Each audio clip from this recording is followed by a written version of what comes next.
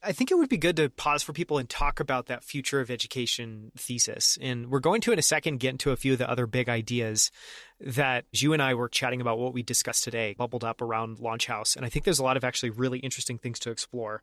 So maybe we can just start with getting your take on the future of education and what that looks like. And if you could just maybe lay out that at a super high level for us.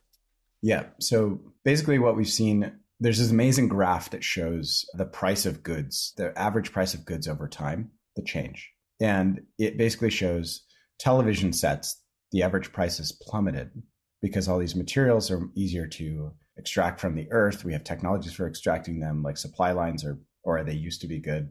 Currently in a supply line. maybe line. good again. yeah, maybe good again. But um, yeah, the price of TVs has plummeted because that's how technology works. It makes things easier and easier. And in education, the price of textbooks and a college degree has skyrocketed absolutely skyrocketed, which is really ironic because guess what? Textbooks have what? They have information in it. Information is free now. Information is everywhere. The textbooks actually have less good information than Wikipedia that is like curated by who knows. And then same thing with education, higher education.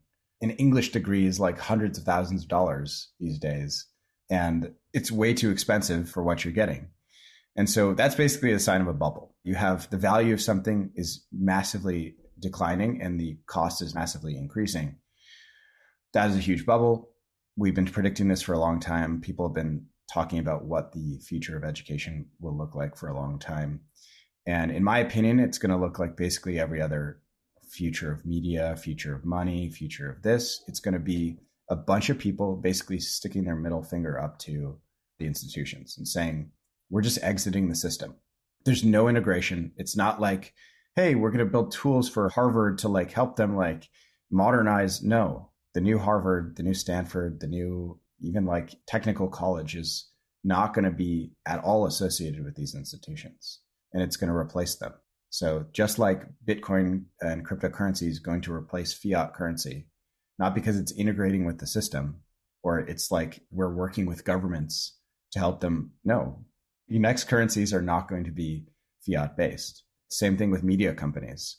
The new media companies, podcasters, not everybody's hanging out in Hollywood, right? The new media companies are not traditional media based. And so that's what's going to happen in education.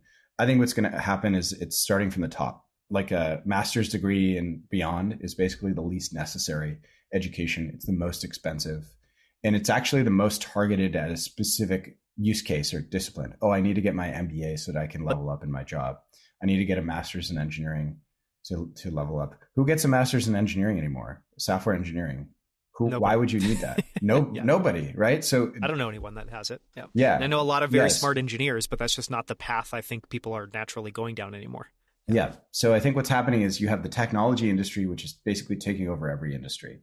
Every business is a technology business right now.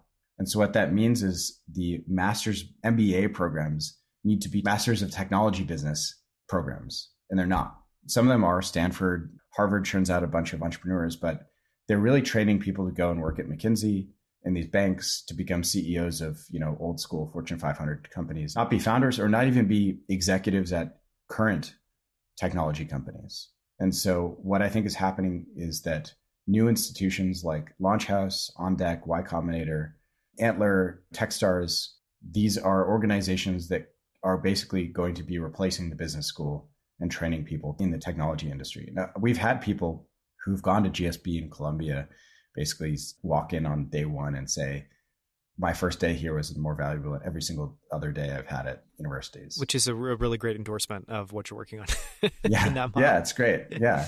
No, I mean, like we basically walk around and say we're like the anti YC and we're the anti Stanford. And in our current cohort, we have somebody who's dropping out of Stanford right now. And we have two people who declined going to YC.